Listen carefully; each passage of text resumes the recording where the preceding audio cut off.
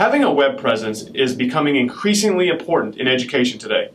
And there are many different tools that you can use to create this Classroom Hub, and we're going to show you one of our favorites on this week's episode of ITV.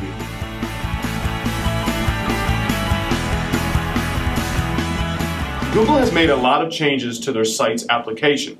These changes have made the user experience a lot easier. Now, in order to get started with creating your Google site, log into Google Drive.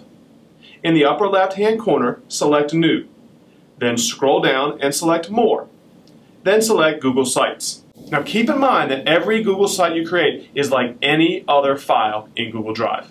So once you've created your Google site, the first thing you, that you'll want to do is go ahead and select the Untitled Site option in the upper left-hand corner and give your site a name. After that, you can also give your site a logo by selecting the Add Logo button where you can upload an image or select an image from your Google Drive. Then you'll want to go ahead and select the Your Page title and give your page a title.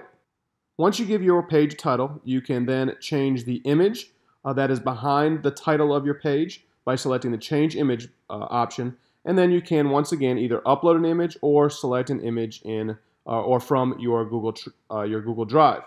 You can also select the header type to change the way that your, uh, your banner is actually displayed on your site. So as you can see, Google has made working with their sites very easy. And adding items is simple as well. You can insert items such as text, images, or even files that you have stored in your Google Drive. You can also add brand new pages or you can even change the theme of your site. There are two different ways that you can insert items onto your Google site.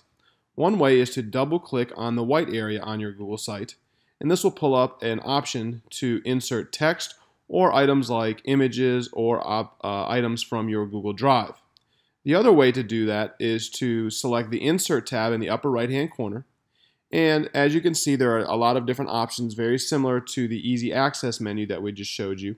But you can insert a text box, and all you need to do is select the text box option and then a text box will appear where you can add text and then add different formatting options. Once again, you can also add images or upload options. You can also embed items like YouTube video. You can also add items fr right from your Google Drive like a Google Doc or a Google Slide presentation.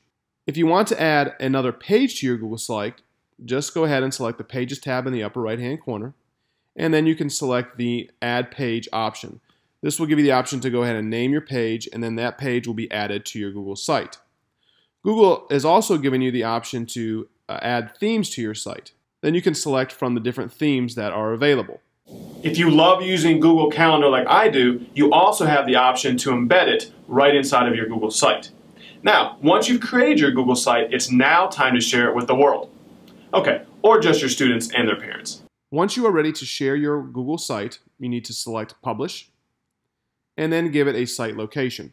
As you can tell, once you give your Google site the site location, it was added to the end of your site's URL. So this will be the URL that you will be able to share with your students and their parents.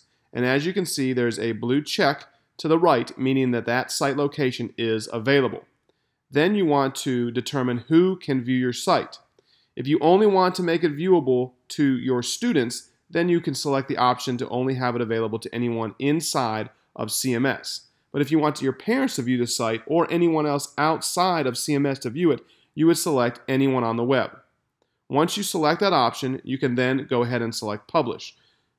Once you select the Publish button, your site will be viewable by sharing this website URL with all of your students and their parents.